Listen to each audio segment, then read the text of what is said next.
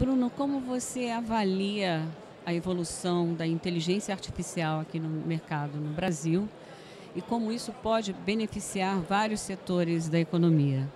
Bem, a inteligência artificial é uma tecnologia, ou melhor, um conjunto de tecnologias que veio para ajudar as pessoas, as empresas e a sociedade a, a resolver seus problemas de uma forma mais rápida e mais precisa.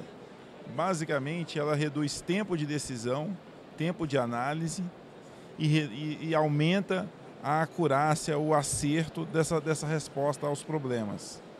Então a gente vê é, na nossa experiência na BDI essa aplicação de uma forma muito generalizada.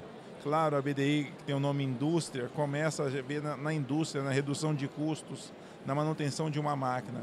Mas a gente pode ver isso na, no diagnóstico de um exame no setor de saúde, numa previsão de um acidente é, dentro de uma cidade, de uma previsão de outros acontecimentos e, e, todo esse conhecimento, todo esse potencial, o que a gente acredita dentro da BDI, é que ele tem que ser difundido e democratizado.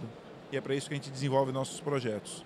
E, e, qual é a sua avaliação, a avaliação da associação em relação a em que patamar estamos aqui no Brasil em relação à inteligência artificial? Se ainda falta muito a ser explorado, o mercado precisa ser despertado? Na verdade, o interessante é que a gente já tem a tecnologia, seja por parceiros ou empresas globais ou nacionais. Nós já temos as necessidades e os problemas, mas falta um ingrediente, que são os dados. Como é que esses dados estão sendo cuidados, como eles estão sendo armazenados. E essa discussão de dados, de como é que tem acesso a esses dados, dados de terceiros, muitas vezes eu como fabricante de sorvetes, quero saber como é que está o dado de desempenho, por exemplo, do, da geladeira que armazena meus produtos, de quanto se vende. Eu, como paciente, como uma empresa de saúde, quero saber o resultado daquele tratamento. E como é que a, a regulação interfere nessa, nesse ritmo de inovação do setor? E como é que a gente tem um, uma aliança entre as empresas, entre os setores, para que esses dados possam alimentar esses sistemas de inteligência artificial e, e automatizar. Então esse, para mim, é o gargalo que o mundo está passando e que o Brasil está passando também no sentido de desenvolver mais a inteligência artificial.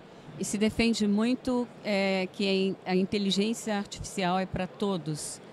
Mas isso é uma. O que, que qual é o bloqueio aí? Qual é o obstáculo? É financeiro ou cultural? O bloqueio está, na verdade, e isso é, acontece na, na prática, quando a gente começa a delegar para a máquina algumas das nossas operações mentais, alguns dos nossos trabalhos. E a gente aprender a trabalhar junto com a máquina, não o ser humano ou a máquina, mas o ser humano com a máquina. Então, esse trabalho, é, às vezes são anos de especialização de um profissional, às vezes são substituídos por segundos de um algoritmo, de um sistema. E como é que esse profissional agora vai trabalhar juntamente agora com, com um sistema que apoia esse processo? Então, a questão cultural e do acesso aos dados, do compartilhamento de dados, é a parte crítica desse, desse processo.